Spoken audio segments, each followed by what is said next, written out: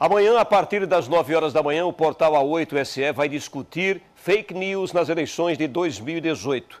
A jornalista Samara Fagundes vai entrevistar o coordenador de planejamento do Tribunal Regional Eleitoral, Marcelo Gerard. Esse que você viu aí. A entrevista será transmitida ao vivo no perfil do portal no Facebook.